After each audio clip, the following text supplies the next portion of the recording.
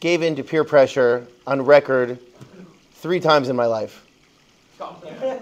Once at the age of 14, um, I went rappelling in Eretz Yisrael. Basically, the way that works is you um, you get hooked up to all these connector thingies, and uh, you're attached to like a, a, mountain. And the way that you rappel off the mountain is uh, the Israeli guy sets you up and says, "Hurry up, because when the moon goes down, we're not going to have enough light." Um, it was the middle of the night. A bunch of guys on a summer program, and you they hook you up to all these connectors. Uh, yeah, yeah, that's what it was. And I forgot what was the, the word in Hebrew. But, and then and then to the way it works is the way you, you rappel off the back of the mountain is you kind of you have to face your back to the off the cliff and and like push all the way off all your weight backwards and then that like catches it and then you make your way down we'll, we'll more on that in a minute um, the second time i gave into peer pressure was at the age of 17 it was right after 12th grade a bunch of friends and i went to six flags great adventure that's like the real six flags not like the out of town one like Six Flags leftover rides over Idaho.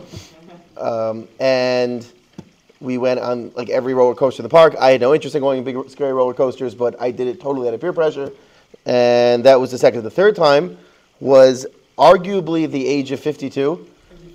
50, uh, at Cedar Point last year, somewhere between 44, 46, and 52. Uh, also, I'm not a roller coaster person, but when uh, Mookie was going on the Gatekeeper, it's like, well, Moogie's doing it. I'm going to do it. So I ended up going on all those. Yeah, good times. So those are the three times I gave into peer pressure, and I don't regret a thing. But let's go back to the first one. So the way rappelling works again is it's you're you're off the side of a cliff, your feet are like at the edge of a cliff. It's the middle of the night, and the way it catches, the only way to do it is, again, you have to like just you're hooked up, but you have to throw all your weight backwards. So you're literally you're back to the back of a cliff and you just lean back as hard as you could. And if you don't lean hard enough, it doesn't catch. You have to lean as hard back as you could, backwards off the back of a cliff in the middle of the night, at the mercy of some Israeli guy. And I remember this had a huge reishim on me because it was an extreme example of doing like the entire exact polar opposite of what my instincts were telling me to do. Like complete opposite. It was like literally backing off of a cliff and, and like you were like shaking, and they'd be like, "No, keep going." You're like, "Ah, I wasn't catching," and you were like, you were forcing yourself to do everything your eyes were telling you not to do.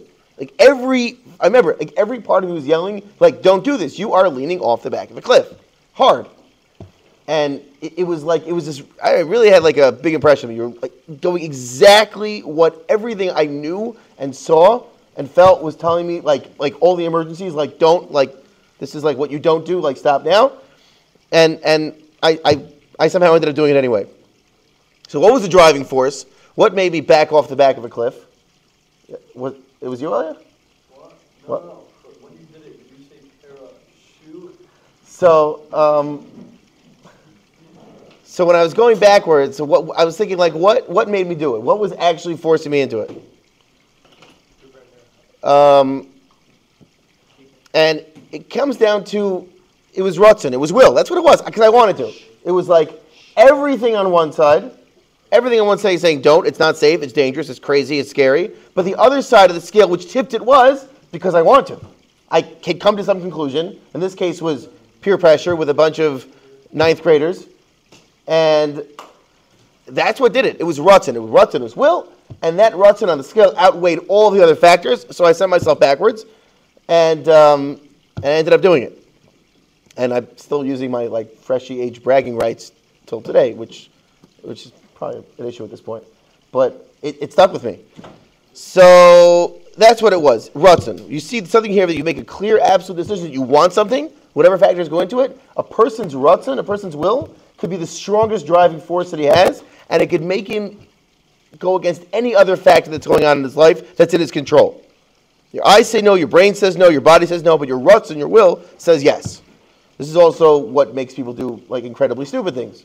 Also, sometimes peer pressure or other factors. You'll do something which is total, totally counterintuitive, do something which is totally stupid or unhealthy or, uh, you know, has a proven track record of not being a smart thing to do or, or be around or try, and but your will goes swings the other way against all of your better judgment and all of your instincts and makes you do it. Fine. So basically, comes down to your Rutzen your will can override your entire system. If you have one override, it's your will, which is like your bechira. That's what makes it special. Okay, that's that. This week's Parsha Vayera, Akedes Yitzchak. Okay, this is like the what comes down to what Chazal say is probably, according to many, the biggest. Like this is Avram Avinu's biggest Nisayan, probably the biggest Nisayan in the Torah. It's the biggest test. It's the biggest reason to make somebody not want to do something that somebody did anyway. Okay, so that's like if you just look at the basic facts, right? That, that's like where this talk is leading. I went off the back of a cliff, even though I didn't want to. So Avram Avinu went to shech his own son, which he didn't want to. It's a little more complicated than that. Um, because not only did Avram Avinu make that decision and, and program his Rutzen his will to do something he really, really would not have, most people, or he probably maybe instinctively would have resisted to do. That's why I was in the Zion. But there was, there was a little more than meets the eye. The pasuk says, "Vayashkim Avram Babiker." Zevi, what does that mean? Avram, before he went, he Vayashkim Babiker.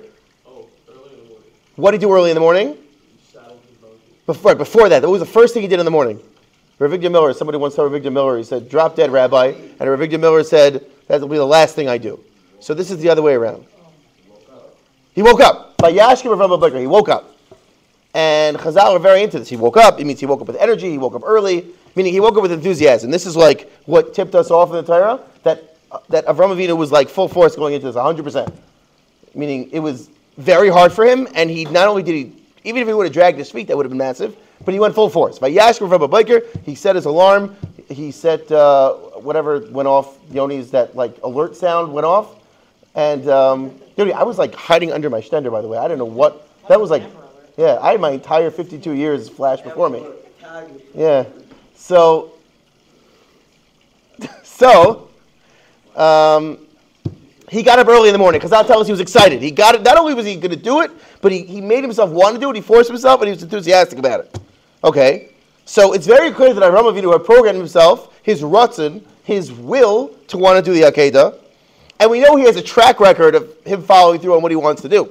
Because when it came to all the other tests, this is what Chazal say, many say was the, the final one, right? From when he was a kid and thrown into a fire, when he wanted something, he did it. Nothing stopped him. So Avram Avinu now programmed himself, he wants to do it, and nothing's going to stop him.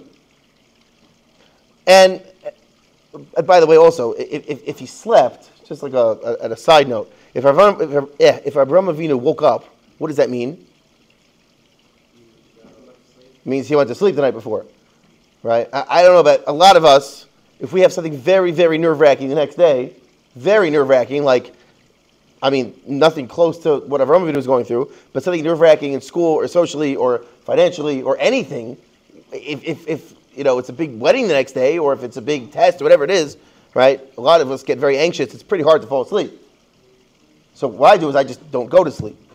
So, but for people who try to go to sleep, it's like very nerve wracking. You're tossing, turning. You see, Avram Avinu fell asleep, which means Avram Avinu not only did he program himself to want to do it, he was comfortable with the decision. I, I, that's, I mean, that's what I'm reading into it. He was actually comfortable. He, he made himself so like through his bitachon and his closeness to Baruch Hu, he made himself actually like he had menuchas nefesh, meaning he had peace of mind. He was like calm about it. He like made peace with it, which is an incredible thing. Okay, but back to this thing about Avram Avinu fine. He wakes up, he's ready to go, and it's now going to be it's Avram and Yitzchak, and they're ready to go to the Akedah. That's on one quarter, and the other quarter now is going to be the Satan, the Yetzer Hara, which is going to do everything it could to maximize this Nisayan and try to sabotage it for, for Avram Avinu. Okay, so the Yetzer Hara needs a strategy because Avram Avinu was told to go, he wants to go, and nothing's going to stop him. So the Yetzer Hara is sitting there in the war room, and it's got to think of something good. So what's it going to do? It's going to go after his biggest weapon. What's his biggest weapon? Well, what do you do if you have a hostage situation, right? And you have a bunch of people with the guns to people's heads, right? And there's very little you can do because if you blink, they're going to shoot. The, the, the situation's over. So what do you do? I mean, these guys have the upper hand. What do you do when, when, when a bunch of hostage takers have the upper hand? Well, one thing you do is you throw a smoke bomb in. Because what that does is that confuses them. It disorients them. It takes the one thing that they have, their clarity, that upper hand is that they have the gun to the head, and, and they know if they hear a noise, if they hear a door opening, they're going to shoot. Now they're thrown off. It, it, it, it sabotages them, it undermines them in their clarity. They're still holding the weapons, they're still strong, they still hold up wherever they're hold up, But the point is, that's what you go after. When, when, when you have an enemy and they have everything going for them, what you do is you try to make confusion. You make confusion with the population. You try with try spreading rumors. You try getting people riled up. You throw a smoke bomb. You have a smoke screen there.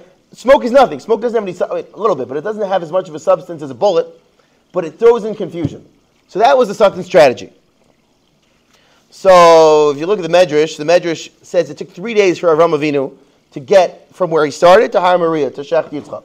What took three days, the Medrash says, he was, he was living a lot closer.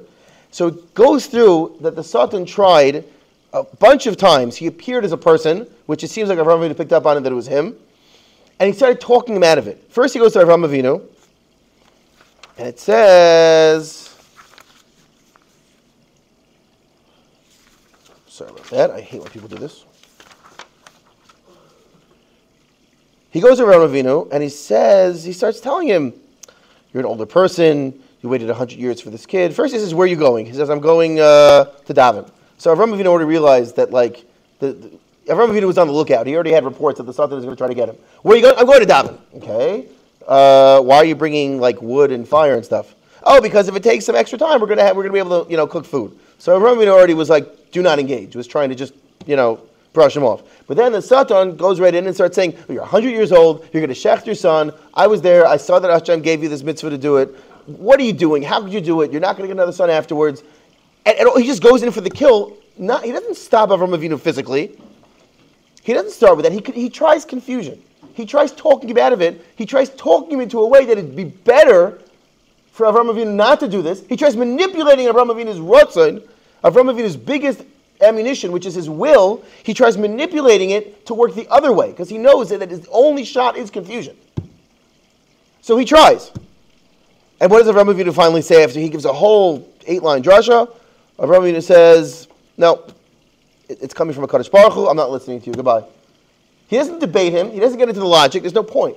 Because that's not the point here. He sees right through it. He says, I'm listening to Kadosh Baruch Hu. I made a decision. I am clear. This is what I set out to do, and this is what I'm going to do. And, and so the Satan didn't get him. The next thing the Satan does is he goes after Yitzchak. Avram Avinu is the Gadol Hador. Yitzchak is his son, his talmid. He goes over to Yitzchak. Where are you going? Yitzchak says, I'm going to learn Torah. Okay, so Yitzchak also is wary of, you know, he's not engaging him. He says, You're going to learn when you're alive or when you're dead. He says, I can't learn when I'm dead. He says, So what are you doing? Your mother fasted so many times that she should be Zaycha to a son. And, and, and, and, your parents were Zaycha to you. And now you're gonna meaning, and now you're gonna go get killed. You won't be able to learn Torah. Like what? You, and he throws this whole argument. Yitzchak to confuse me. He tries throwing sand in his eyes, so to speak. So Yitzchak says, "No, this is what Hakadosh Baruch Hu said to do. This is my father's telling me to do. I'm doing it." But what's interesting is Yitzchak then turns to Avram Avinu. He turns to his father. He turns to Avram and says, "Avi, my father, look what he's telling me. Avram says, "Amr don't pay attention, don't pay any attention to him. He's just coming to wear us down. So Yitzchak, Yitzchak, you see, on his level, Yitzchak went to Avram Avinu for chizuk. Meaning, you see that the Satan was was was really the, the, this is he, he went to Avram Avinu. He was like almost, I, I, don't know if you're allowed to say this about Yitzchak Avinu, but it sounded like Yitzchak Avinu felt the need for chizuk, which means that what the Satan was doing was, was getting to him. And he went to Avram Avinu. Avram Avinu said, don't worry, it's just a Satan. It's, it's all a ploy. It's nothing. It's, it's misinformation. He's, just trust me. I know what's going on over here. We're going to stay on our mission. Okay. And what happens after that? What happens after that is, it says, the third day, no more negotiations, no more talking out of it, no more missionizing. The Yetzer Hara, the Satan finally, he creates a river. He opens up a, whole, a wellspring with a river, makes this huge river where Avram Avinu, it, it's hard for Avram Avinu to pass. He goes in, the river gets higher. It's, almost, it's like Kriyas Yam Suf, the same thing, until it's up to his neck. Avram Avinu keeps going. He tells Yitzchak, Yitzchak, come with me. Yitzchak follows him. Water's up to his neck, and he finally says like this. I mean, mind-boggling. this was his way out of not doing the Akedah, but it says he davens that Kadosh Baruch Hu. He says, Shalom, you chose me. And you, you instructed me. You revealed yourself to me. You told me, Ani Yachid Vata Yachid. I'm one, you're one. Ayodcha yivada shmi ba'olami, with you, my name is going to be known throughout the world. Bring Yitzchak up as an oila. I didn't stop. I, I kept going. Oh, I'm doing what you told me to do. I can't do it anymore. I can't go. Physically, I'm going to drown. So then HaKadosh Baruch Hu came, and he took away the water. Okay, so again, recap. First thing the Satan does is tries talking Avram out of it. Nothing doing. Avram Avinu stayed strong. Second thing, goes after Yitzchak. Hey, Yitzchak. Yitzchak dismisses him, but goes to Avram Avinu for what looks like chizuk. Third thing is he tries basically nothing doing. He tries making it physically impossible. And at that point, Avram Avinu was so focused, he stayed the course. He didn't say, I'm an Inus. He didn't say, there's nothing I can do. He davened that he should be able to keep going. Okay, so that's the strategy. That's the, that's the back and forth between Avram, Yitzchak, and and uh, and the Satan. So again, the, the, the knew to confuse Avram Avinu. He tried throwing the smoke bomb. It didn't work. He tried throwing it at Yitzchak. He held on to Avram Avinu. To me, what you take out of this is the greatest Nisayan, the greatest test in the Torah. What's the greatest test? The greatest test is when a person hits confusion. You ever see somebody like on a plane, and you see some guy, and he's sitting there, and he's and he's like nodding off. He's tired, and his head drops, and then you see he does that like you know like spazzes out, like wakes up, like oh where are the planes? Like where am I? You know, mom. Like he looks around and like and you know right away you see down again, up, bobbing up and down, and you know every time his head picks up, you know that this guy's in a position he- he's got no chance. Like like this, this is not how you like snap out of it. You know he's going to go right back down again, right? You also know there's some situations where you or people you know would be in with certain friends or certain circumstances where like you know they have no chance. That goes at that my friend's going to hang out with those guys, no chance. He's going to do X. He's going to go to that yeshiva, no chance. Like just that's just the way it is. It's the same thing. Head bobbing up, bobbing down. Like if you want to stop your head from doing that, you actually have to like stand up, do something, take a coffee. But it's like at that point, it's too easy for like whatever forces are making. You're tired, nothing doing. For some people, the Yetzer Hara is that easy. He knows it's, it's, it's easy money. All they need is a little bit of a nudge, and like they're gone. They're not the amount of effort they're putting in. All he needs is a little push. They'll go back to sleep. But the people, the big guns, when they're up, you see Avram Avinu was the most focused, uh, most focused, driven person out there, and he is like our example of of overcoming challenges and resistance. So what did the Satan do? He tried confusing him. He tried, he tried like murky water, pepper spray, like whatever he could to just throw him off. Which means that if you ever find yourself in a situation, the hardest situations must be the ones where you're not clear. Sometimes there's a right and there's a wrong, and the wrong is just too hard to give in, and you know it, and you give in, and you feel bad, and you try the next time. You make a plan, you work on it. But there's like a clear right and clear wrong. The hardest is not when there's a clear right and clear wrong. The hardest is when there's confusion. There's nothing worse than confusion. It's the last of the b'siman levav, which is like, I did a chait when I was confused. What is that? It was when I was confused. I, I wasn't sure what was right, what was wrong. I got disoriented. It wasn't clear. That is the hardest thing. You see, for me, that is the hardest thing. So the first thing is if a person is in a tough situation where he's not clear, he's not clear who, if he should be going somewhere, he's not clear if he should be going to a certain event, a certain yeshiva, is he good where he is, should he leave, should he hang out with these boys, should he not? The first thing is to realize that you, right now, the Yetzer Hara is dealing with you, he's giving you all he's got. He knows that there's a lot at stake over here. Because if it was easy, he would just have one of, you know, take one of your, take some clown friend to show up and just say some dumb line to you and take you to wherever you have to go. I'll stop thinking about it, come with us. You know that you're a big fish if the Yetzer Hara is making you confused, when you're like not sure what's right, what's right and what's wrong, and you really get stuck on it. There's a lot of examples of this. I mean, there's like, you know, there's the, you, you know, like any good morning that you're on the way to davening and like you're actually up and you're ready, you have a plan, I'm gonna get up early, it's Bein Hazmanim, I'm gonna get up, I'll daven at 7.30, that way I'll be able to learn, and then be home with my family. What happens? It's like you're about to get to the house like super on time and you can't find your yarmulke. It's always, like always. No idea where your yarmulke is, and you can't find the spare one either that's been like on the floor for a month, right? Can't find your yarmulke. You, did everything you could. Okay, 12 minutes later you find your yarmulke, but okay, now I'm going to be late to that minyan. That's not good. But then I'm going to lose time learning, and I really could dive into that minyan and just like dive in quicker. Uh, you really get jam- a person can really get jammed. Like I mean, it's, it's a, a muscle of a million situations. You get really, really jammed. I, I really worked hard making these friends my friends, but now they are going with their friends who I don't like so much, and they're going to uh, to an event. I don't know. I mean, I worked hard to make these my friends. They are my friends. I don't want to reject them, but like they're going with the other friends. Like, what's the right thing to do here? So when you're in a situation like that, I'll give you an example that I have once in a while. It's like right before and off Shabbos. We learned great that week. We're going to quickly finish up like the last two lines of a Gemara. and then we're good to go, and we feel great. You know, test, and like we end off with a bang. What happens?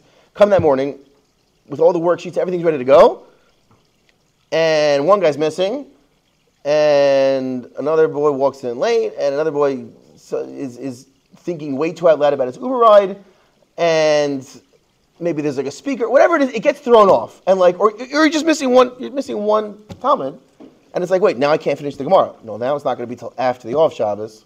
That's annoying. Have, that means we have to like start the whole thing to finish it, and we're missing one or two, and everyone's already like wearing their like their flight clothing, which you know at least includes pants, and like. Okay, and it's like we get it early, and we had a late start, and I really could try to like get away with something, but then it's like, but I really came in driven today. I wanted this to work. But then like that vibe starts fighting against you. It's like, but but like we can't learn. We're just not. This is not a day. But like I really want to. Yeah, but it's not. That to me, I, I that to me is like the worst. It's like I'm not clear. Like I'm doing everything I could, and I have the there's people here, but like not a. It's that murkiness. That's the worst, and it means you know that the HR is trying his hardest. That's what happened to Avram Avinu. That's what happens to us all the time when we're at our best. Okay, so what do you do about it? Okay, so let's look back at Avram Avinu. Avram Avinu was the Gadol Hador. Something comes to him, goodbye. Saw right through it. Something comes to Yitzchak Avinu. Yitzchak Avinu is, is Yitzchak Avinu. He's one of the others. He's Avram Avinu, like I said, it's his son, it's his talmid. And, and again, I, from what it looks like in the Medrash, and I don't think it's wrong to say that Yitzchak Avinu, he dismissed the Yetzer like his father. He what he did, but he still went back to his father. He said, Re'ei Maza look what he's saying to me. Like, I, I'm not comfortable with this. So he went to his father, his Rebbe. He was in a situation where he wasn't clear. Maybe eh, I'm going to not be able to learn once I die. What should I do? I'm supposed to learn.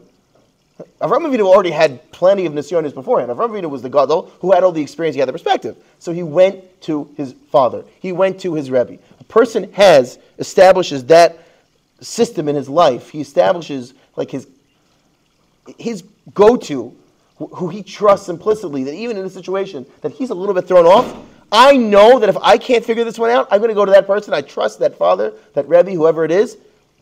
I trust them. And then as soon as he went to Avram Avinu, and Avram Avinu said, he's just trying to, it's a ploy, that's it. Yitzchak Avinu was back on board because he used the tool that he needed. Sometimes we need help. You use the tool, you're good. Just trust in it. So that's the instruction book. That's what happens when you have that bad day where you're not sure what to do. Either you can figure it out. What does Hashem want from me? Do I daven later? Do I uh, what does Hashem want from me? So you know what? You figure it out and you ask someone, what would have been the right decision? And then once you have the right decision, you keep going. And if it happens again, you just keep going because now you're good. You have that under your belt. That's what happened over there with Avraham Avinu. So it's it's saying before that like this, you know, what it comes back to is one thing. It comes back to that the Yetzer has a target on you.